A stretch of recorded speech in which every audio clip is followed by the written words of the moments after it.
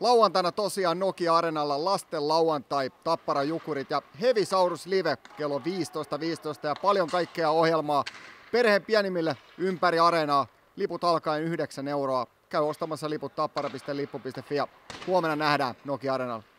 Jussi Tapola tänään liikakauden ensimmäinen paikalliskamppailu Ilves Tappara ja varmasti kova ilta luvassa. Minkälaista matsia odottaa päävalmentaja?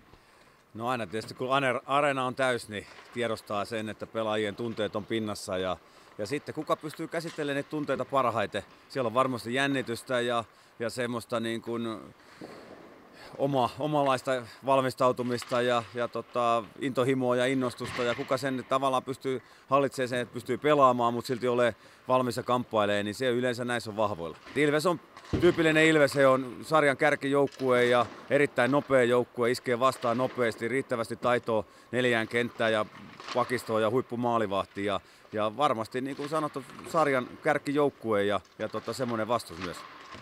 Varmasti ei voi myöskään illan valmistautumiseen liian vähän kiinnittää huomioon, että pitää varmasti olla ihan täysin latingissa joka jätkän, kun kiekko tippuu jää. No ehdottomasti me ei tuossa HPK-pelissä ihan onnistuttu siinä alu, alkuun ja, ja osa pelaajista kävi liian hitaalla ja ei ollut tavallaan semmoiseen pelinopeuteen valmis. Ja, ja kyllä siitä on tuossa joukkueen kanssa puhuttu, että se on jokaisen pelaajan henkilökohtainen tehtävä valmistaa itsensä semmoiseen peliin ja olla valmis siihen. Tämä on kuitenkin se pääasia aina kun tulee peliä. Silloin ei voi olla niin kuin siellä jossain muualla, vaan silloin pitää olla siinä peli hetkessä, eikä niin, että sitten kesken peli joudutaan aina lataamaan uudestaan sitä, sitä itteensä ja joukkuetta.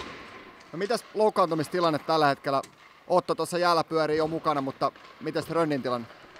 No Otto, Otolla menee varmaan pari-kolme viikkoa vielä ainakin ennen kuin pääsee mukaan tosi toimii. On tietysti harjoitellut ja jäällä pystyy käymään, mutta ei vielä kamppaile ja pelaa. Ja, ja tota, Rönni on ollut harmi hän saisi polvivamman siellä maajoukkueen tapahtumassa 20 ja silloin oli pois hetken aikaa. Nyt on, on pitempiaikaisen sairauden takia pois varmaan sanotaan pari-kolme viikkoa kuukauden, niin, niin tota, sillä ei harmittavaa, kun sentteri osalta on poissaoloja, mutta se tarkoittaa, että Tanus Moilanen, niin sieltä pitää tulla hyvää, hyvää niin kuin sentteripeliä ja, ja he on, heille taas hyviä kasvupaikkoja.